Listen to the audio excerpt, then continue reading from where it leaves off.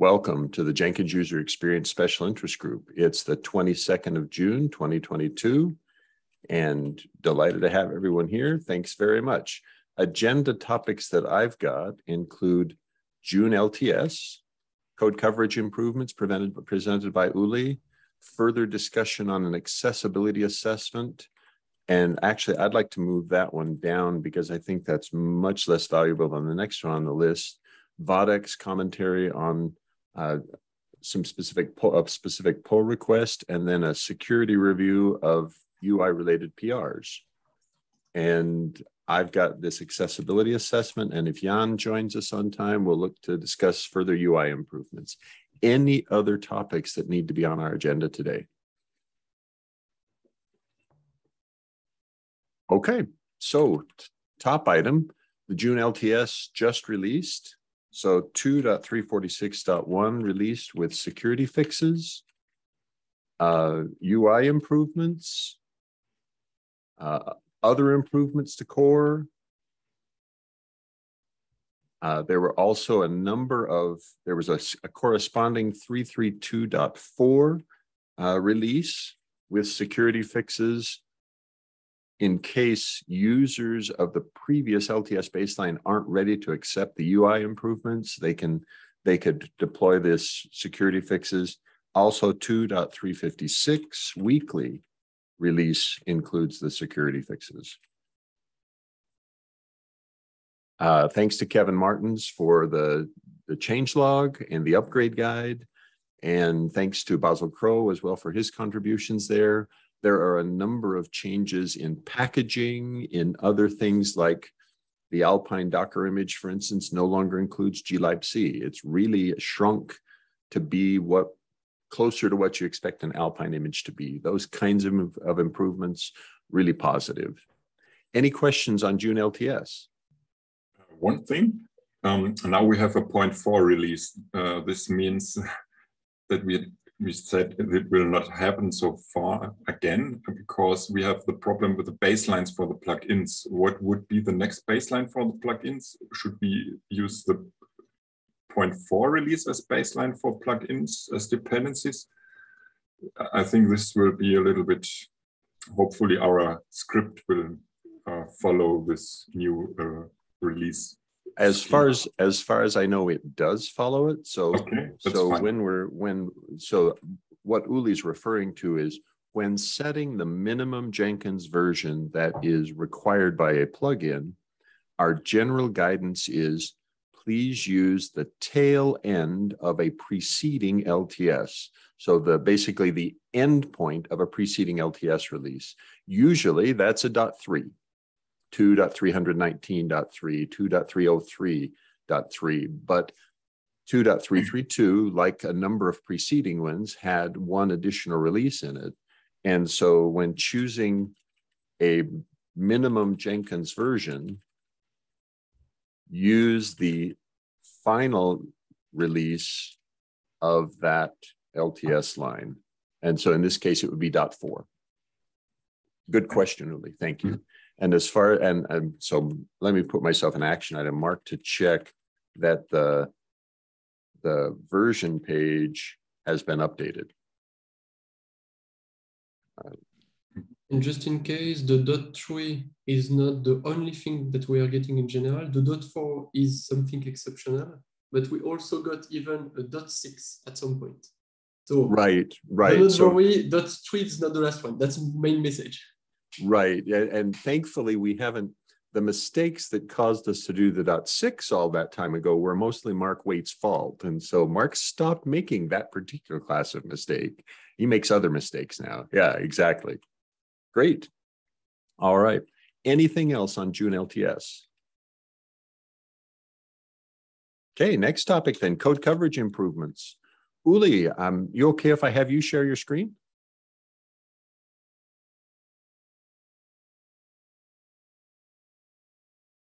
I can't hear you, Uli. Sorry, I didn't find the button. now I find it. And I think it would make sense. Um, is it okay in this way?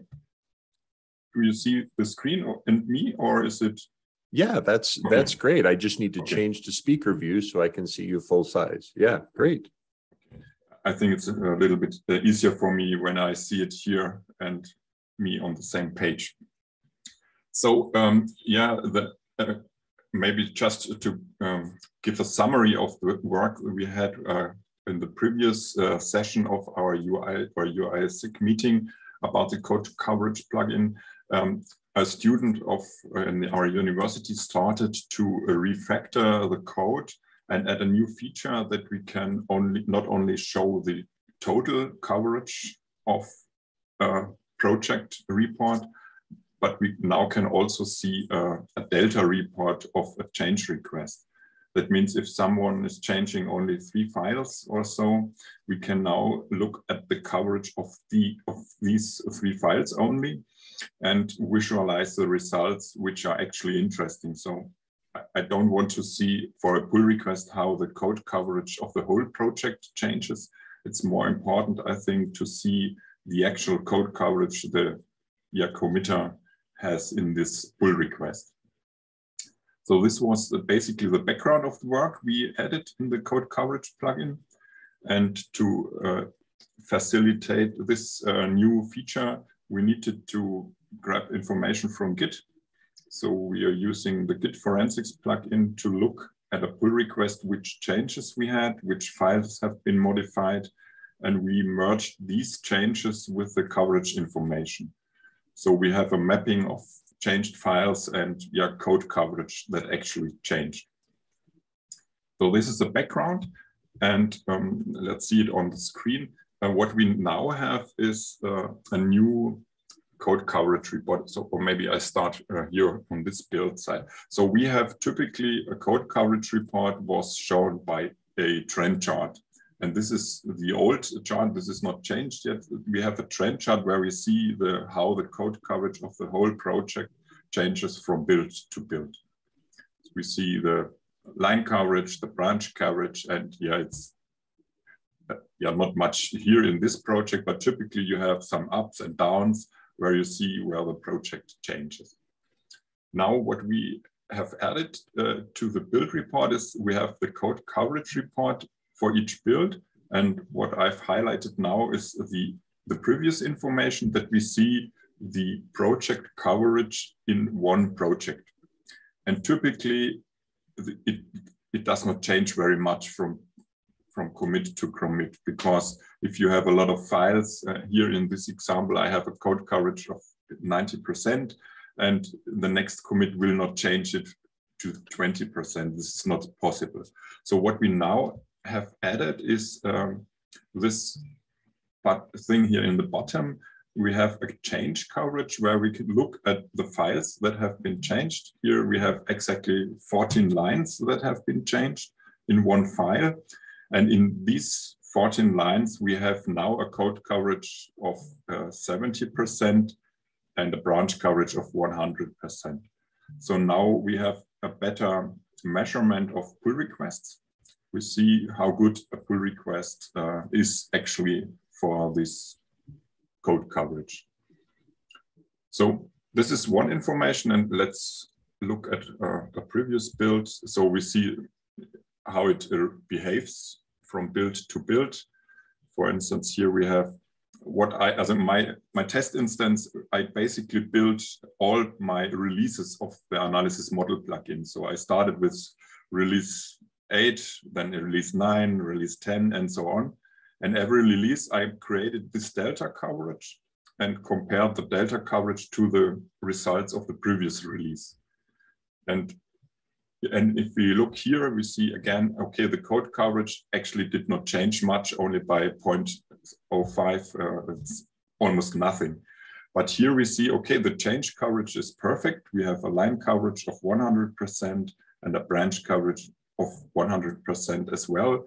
And we have nine lines changed and three files affect. So this is a new overview where we have where we now better see the results for pull requests, for instance. It, this computation is not only available for pull requests, it's also available if you're just building one build on the master branch and the next build on the master branch. then you can also compare the differences from build to build as well. So this depends on the reference build we are you are using. This is the same thing I'm using in the warnings plugin. So let's see. Nope.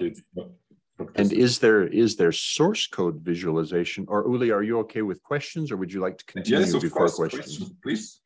So so the change coverage report, is there a way for me to see at the statement level which statements were missed in the change coverage? Is the coverage? Is there a way for me to look at that at the at the source code level? Yeah.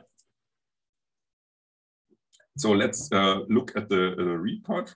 Oh, this was yeah, the wrong button. Sorry, I clicked on the wrong screen. So uh, this is the new uh, report, um, the details report, and the details report has been uh, rearranged. Um, I'm now using some tabs uh, because there's a lot of additional information I needed to place somewhere. So I'm um, starting, we have some overview, which is the same as in the previous release. But what we now have, we have a tab for the file coverage. This is uh, the code coverage of all files of the project. This is similar as we had before. The only thing is that we that we changed the visualization that we have now these uh, yeah you can sort and you see the different uh, batches how and see how good your code coverage is. And if you look at the change coverage, and this is the more most important thing, I mean, then you can see um, when you look here, you see the change coverage, and in the change coverage, you see um, actually only three files, and these are the, these three files have been changed, and you can now look at the individual lines of these uh, changes and see how it behaves. So let's see.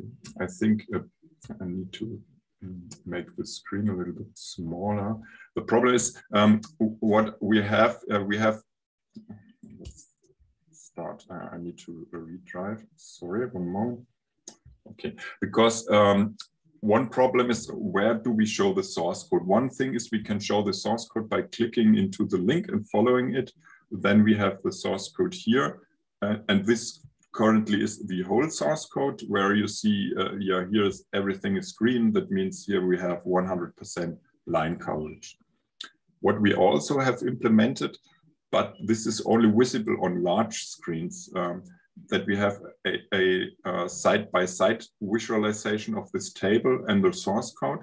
And when you click in the table, you see the source code but uh, I think it's because of uh, Zoom changed the, let's see if I can make it a little bit, I'm not sure if it will work. Let me uh, see if it, I make the screen a little bit bigger, but I think it will not work.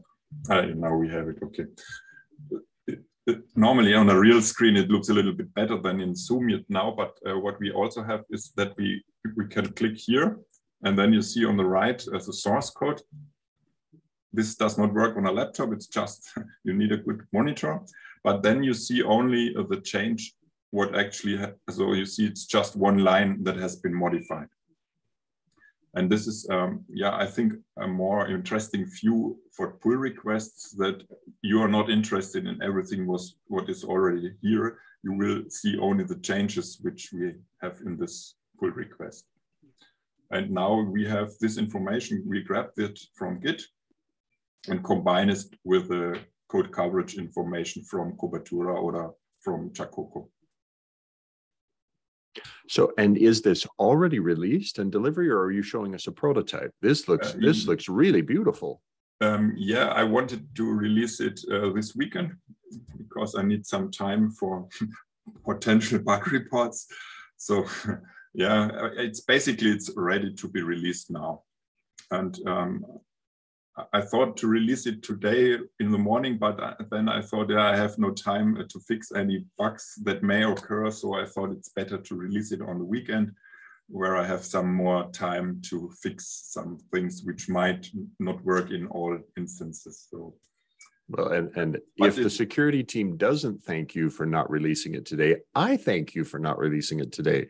As a Jenkins administrator who has to update his Jenkins for the security release, I'm Uh. delighted not to also have major features arriving in, in a plugin on the same day. Thank you. So weekend Yeah. is great with me.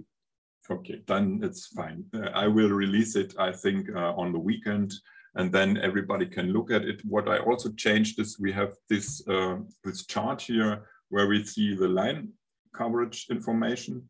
Um, this is already part of the last release. What we now also have, we can look at the same chart if we look only at the branch coverage. And what, yeah, we had this chart as well for the delta information, but for the delta information, it did not make much sense because we only have three or four files. So actually I removed it now, but the information would be available if someone is interested. Yeah, and the, the nature of this chart is that it's showing me based on the size of the box, that's the number of files that are in it or the number of lines No, in no, it. number of lines is currently used as metric. And then the, then the, the coloring is used to hint what fraction of coverage uh-huh. is, Yeah. is covered. Yes. For instance, here we have only 55, uh, 58%, uh, and here we have uh, 83. And this is currently not customizable, but in future releases, we can add a customization that projects which have not so good coverage can reduce this information. So green is maybe green if we have 80%, for instance. But this is not yet possible. So one thing after the other. So.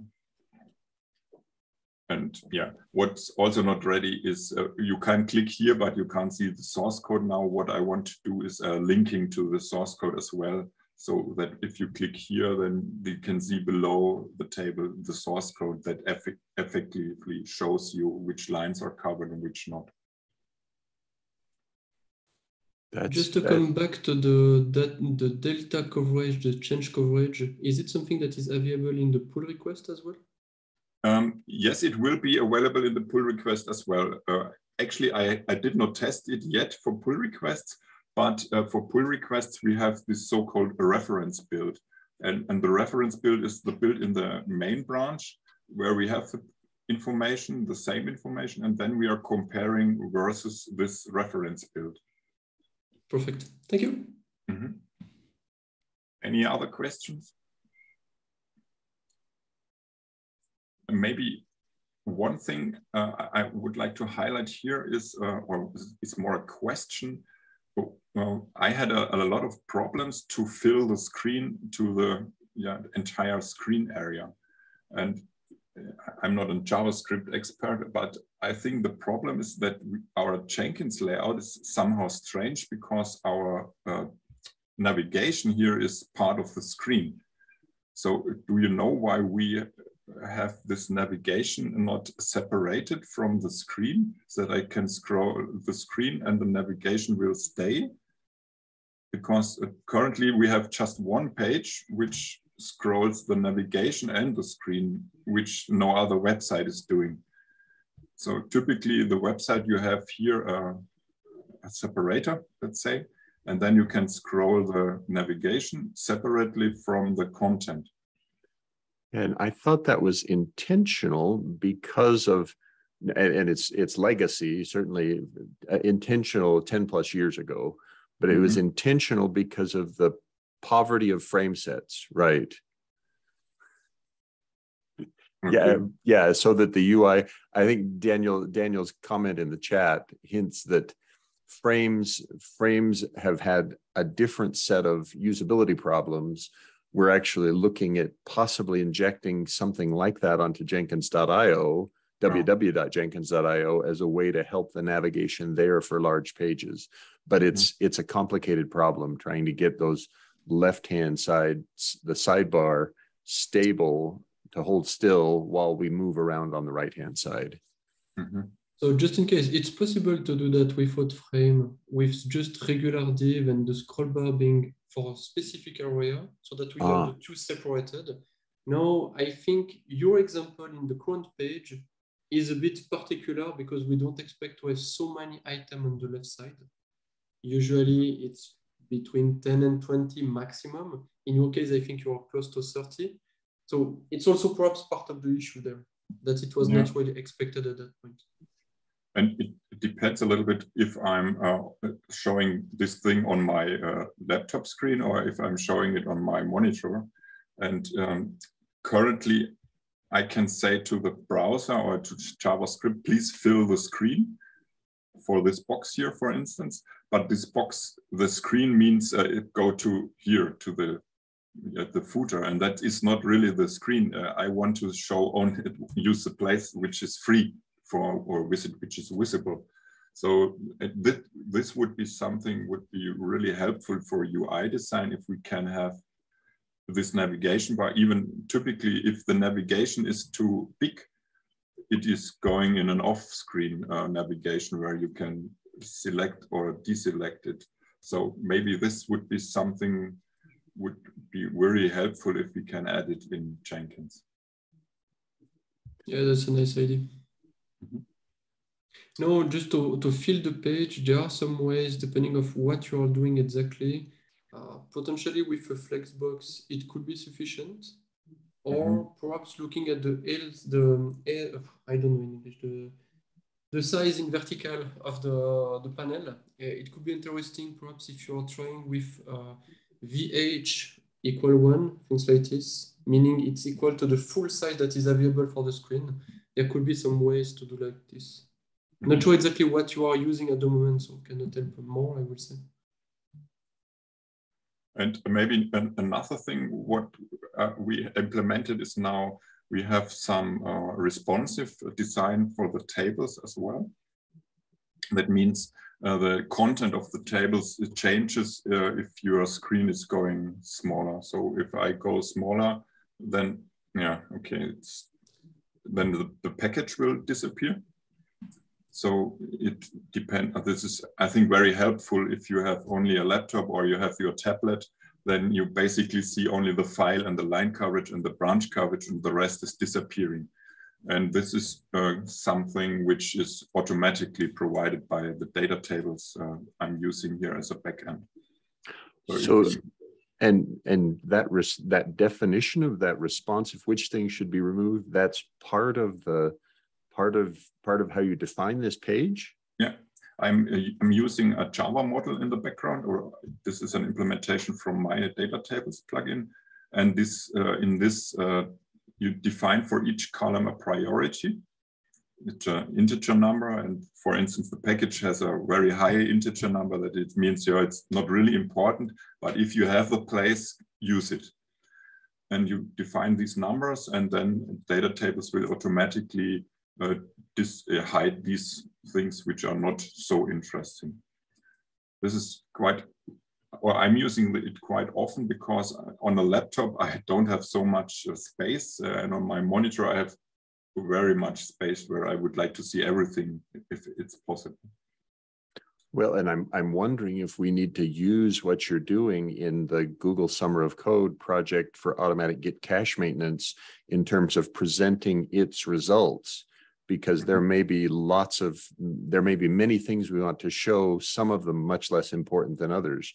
Uh, mm-hmm. thank you. This is good to know that the capability is there.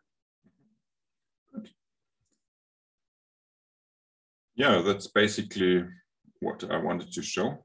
Any other questions on this topic? Okay none you. from me. Thanks uli. Thank you very much. Mm -hmm.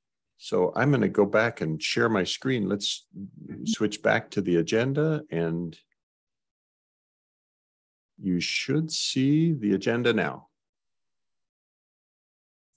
So next topic was Wadeck, uh, two, two items related to security. Wadeck, is there anything that you would like to share your screen with it? Or do you want me to just keep the notes up? How would you, how would you prefer? If you want to just open the pull request, that's fine. Uh, it's just a general situation that I have seen recently occurring more and more. It's some people that are not really integrated, included in the UX SIG meeting, that are trying to do their own improvement on their side. And there is another parallel effort done by the SIG meeting uh, people that is overriding a bit the effort from the others. Not necessarily uh, it was the, the will to, to override the effort from the others, but it's more that for the contributor at the end, it's like, oh, thank you for your job, but we are doing something else in the meantime. So your code is no longer very valuable for us. That's this kind of thing that is a bit annoying to see there. I'm not saying it's something to, someone to blame or things like that, not at all.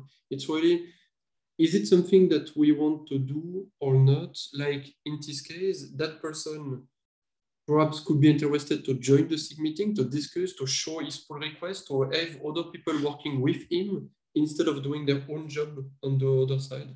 So that's more to open the discussion. No, uh, we don't have a lot of people in this meeting right now, so not sure it's a good moment to discuss that, but just to highlight that fact. Thank you. So the, the concern here is in July of last year, this was submitted but in the intervening period, there have been changes which made this either not not helpful or no longer necessary or so do I remember correctly, Wadeck? Do you, yeah, do you totally. No, that's that. You can look at the one of the last comments. It's mainly, yeah, in the meantime, we have done something that will make your pull request no longer valuable. So that's this kind of thing. Uh, we have seen that also with tooltip. Uh, someone proposed to have some tooltip using the direct the, the title or the tooltip inside an attribute. And that was mainly rewritten in a different pull request by using Tippy, uh, the JS, this kind of thing. It's more about to align the effort from the different people to prevent people, especially like that guy, who are spending some time, but not a lot, on his pull request at the end is overtaken by someone with more time or more expertise in the in the in the project. Thank you. So so here i think alexander brandes was suggesting hey it's it's a bad pattern to have something a relatively small change diff diff content wise on on unevaluated for a year. And basil notes then there are some additional challenges in this particular one if it if it actually applies still or not. So there there's certainly more to be done here. Good.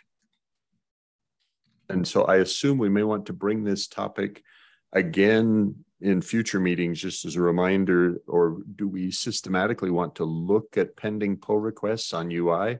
Maybe we should be labeling the pull requests for UI and and remind ourselves in this meeting, hey, which ones are are pending review and we could use people looking at them?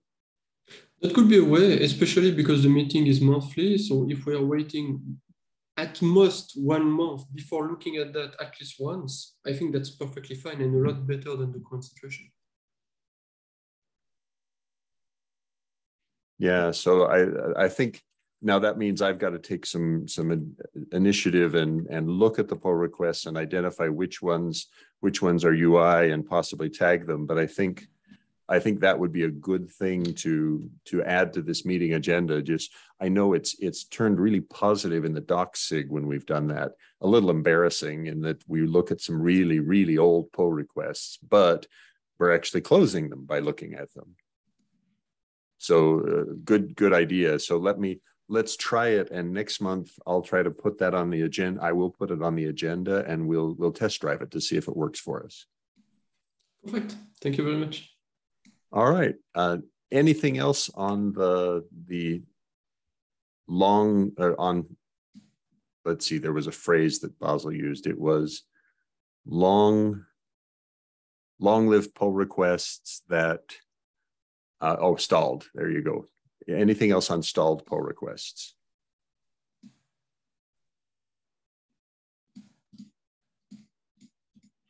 Okay, next topic then. Wadeck. So the next one is a bit uh, less happy, I will say. Uh, you have perhaps seen we have released, especially thank you, Daniel, for that, uh, a new version, new security version today, as you mentioned Mark before. In that version, we are correcting five vulnerabilities that were recently introduced in Jenkins core. I will say mainly, I'm not totally sure, but mainly related to the UI, at least four of them. And the issue there is mainly it's very rare in the past history of Jenkins that we have seen such, I will say, newly introduced vulnerability. Most of the time it's things that we are finding from the past. In this case, it was things that were recently added by accident, of course, but it's just the fact that it was a bit of change of uh, pace in terms of uh, introduction of some things. That was a bit annoying me to see. We had to work on that very quickly in urgency in some sense to prevent that to, to stay for long in the project. So that's a bit painful to see the effort that is needed to correct them after the pull request is merged compared to correcting that during the pull request. So for that, uh, I would like to block all the UI pull requests until they got an approval from the security team. The goal is not to block them forever, to not review them and just to block the process at all. It's not at all the goal.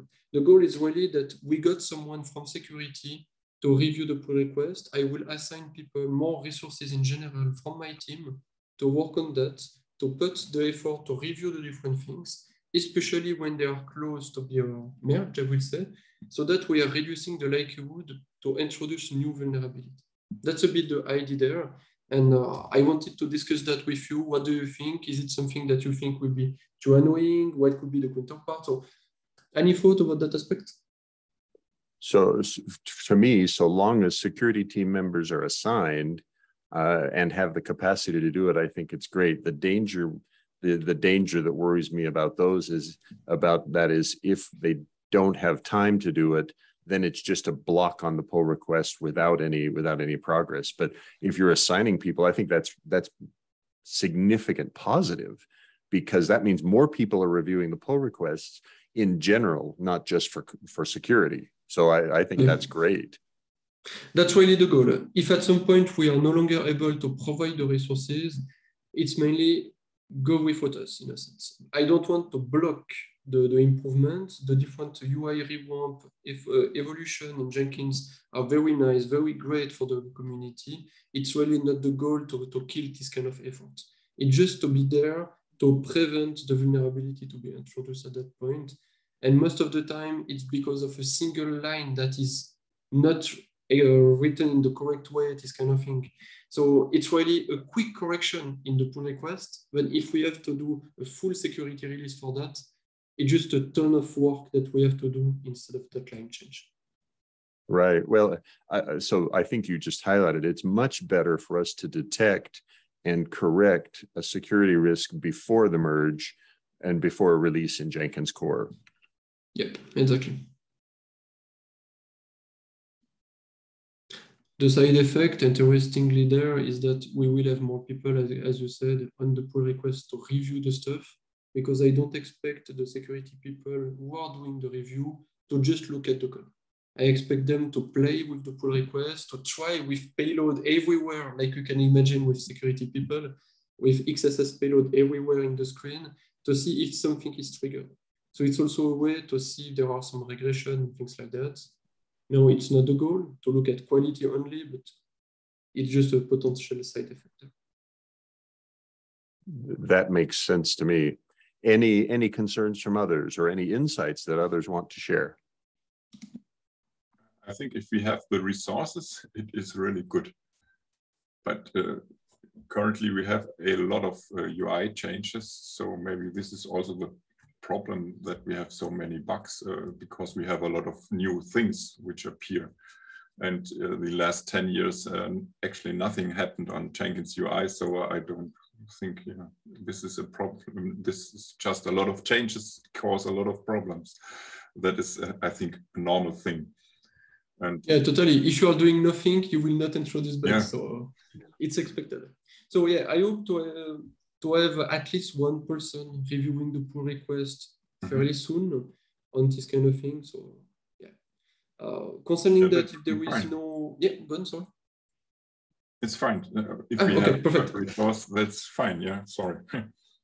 so uh, if there is no objection, this kind of thing, I will send an, um, not an email, but a, a, message in the group for the, the developer of Jenkins to mention that new policy in a sense with the blockage of the different pull requests related to the UI So the point you mentioned, Mark, before concerning the label, the tag about the UI will be more important as well.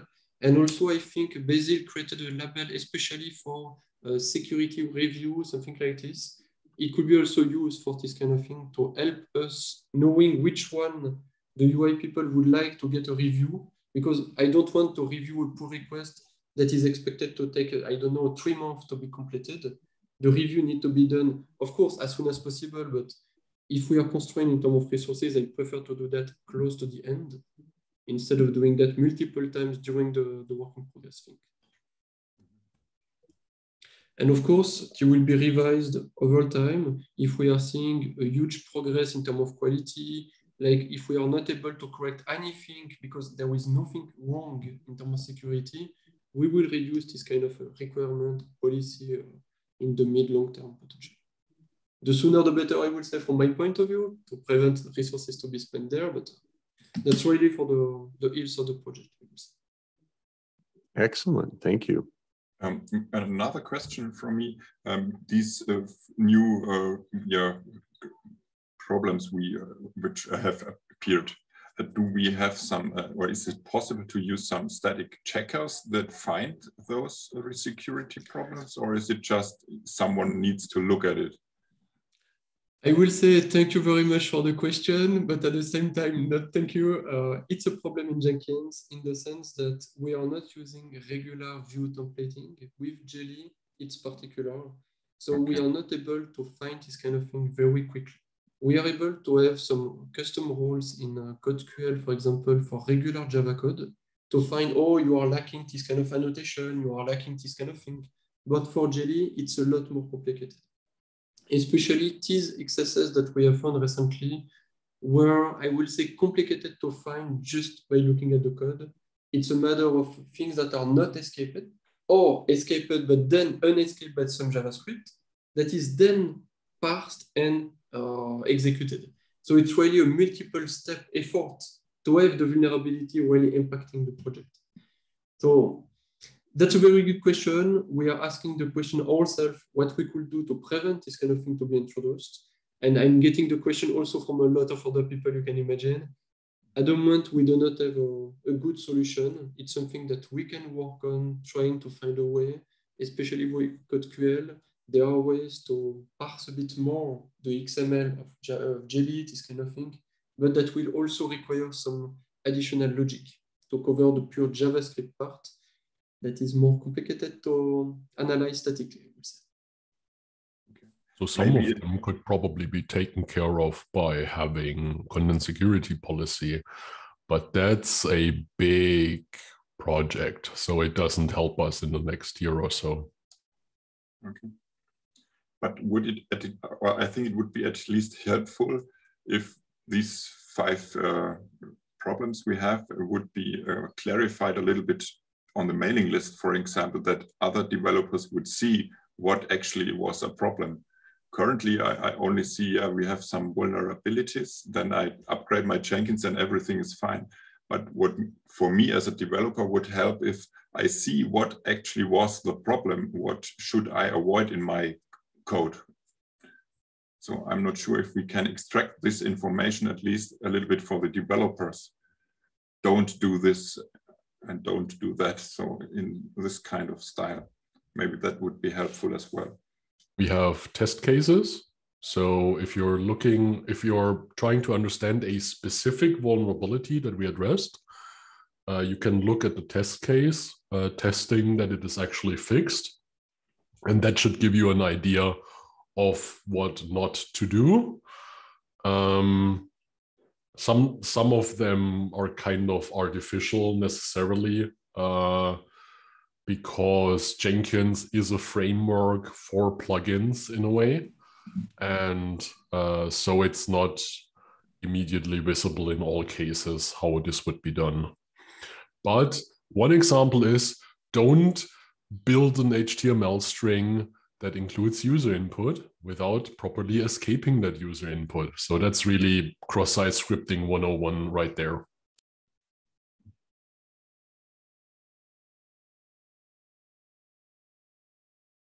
And just to do some advertisement as well for CSP, so content security policy, it's a project that I would like to put more effort in.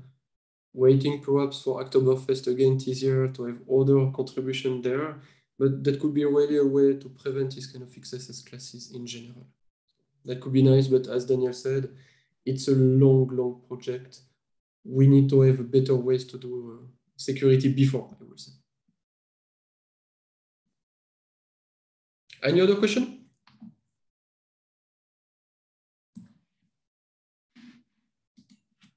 So looking forward for the accessibility topic. Okay, so this one is is just a a reminder that at our last session or at a previous session, I noted that a company had contacted me saying, hey, we've done a Jenkins user interface accessibility assessment it's German language. We'd like to contribute it to the community. What's the most effective way to contribute it to the community? And and my thought was, should or my questions were things like, shall we one get it translated from German language to something I can read as in English, and then two, do we create in a, an epic in Jira that describes these things with individual topics? Or do we just create the epic and wait for for people who have capacity? You know is it is it premature to create a bunch of issues in jira for accessibility improvements rather would it be better to think about accessibility in some different way prioritize differently etc this is where i'm i'm looking for input from others on what's what's most effective in terms of how we interact with these observations about accessibility that have been made by somebody as part of their a company evaluation of Jenkins. Perhaps do you have an estimation of the number of tasks that you would like to create? Like, is it just five or six or more than 200? Oh, I would guess it's on the order of hundreds. I haven't looked okay. at the report specifically, but considering what these these kinds of assessments usually detect, it, it, I would expect it to be on the order of hundreds, probably not thousands, but hundreds I could easily see where, hey, missing tab navigation for this, or doesn't have screen reader support for that, or lacks a keyboard shortcut here that could help the user in this way, those kinds of things. And, and they, they're quite frequent. My recommendation will be to mainly get some task more as a spike to analyze the report and to categorize a bit the issue. Because for example, if something is related to the missing alt text for icon, it's something that could be done at once in the jelly tag directly. But if it's about the tab navigation that will require revamp of different pages, that's something that need to be uh, group together as a category in a sub-epic, this kind of thing. That could ease a bit the, the work there. Ah, good point. Okay, so so maybe outline it as stepwise, saying, hey, first step is we need to review and assess. And yeah. as part of that review and assessment, that probably involves a, a grouping and a prioritization and possibly a partitioning of here's here are various classes of of interesting things that this report gave. Yeah, okay. Review, prioritize, summarize the areas, areas, impacted areas. Um, Perhaps then, if you, yeah, let's go on, sorry. Sorry, go ahead, Wadeck. Perhaps if you have the opportunity to discuss the topic with Christina, it could be interesting because she has some um, accessibility sensibility, I would say. So she was really interested in the topic. So potentially she could help also in terms of uh, prioritization, categorization, this kind of thing. Yeah, and Christina's attended these sessions previously, so that's that's a, a good idea. Excellent. Okay, good. Any other observations or recommendations there? My specific request to the, to the submitters was I don't want to treat their their work with disrespect in the sense of putting it into something that then we don't get the benefit out of it. And I like the idea of review, prioritize, and summarize because that's giving us real value.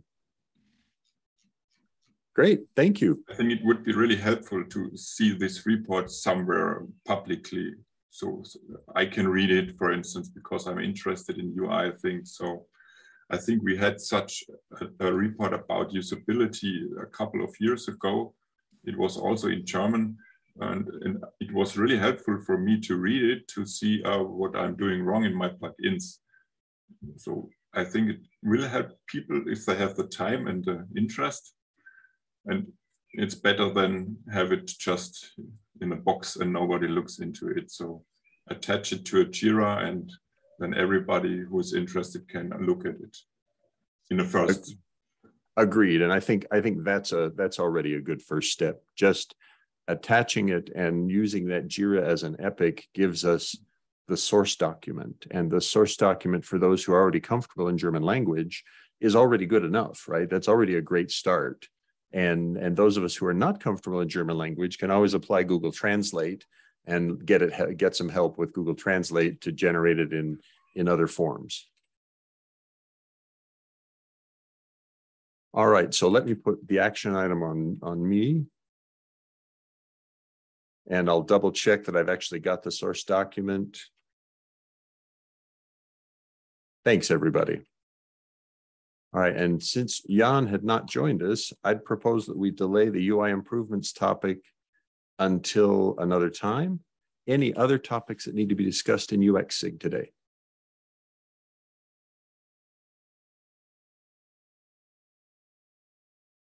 All right, thanks everyone. Uh, recording will be available in probably 24 hours or less.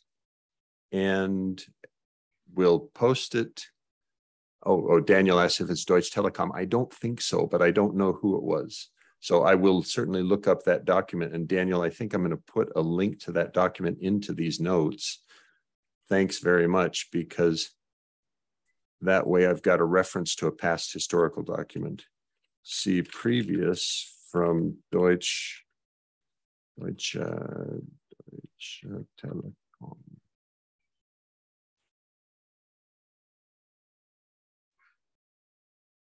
Excellent. Thank you. Thanks very much.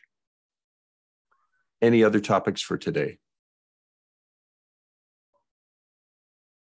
All right. Recording will be posted in roughly 24 hours. Thanks again, everyone, for joining.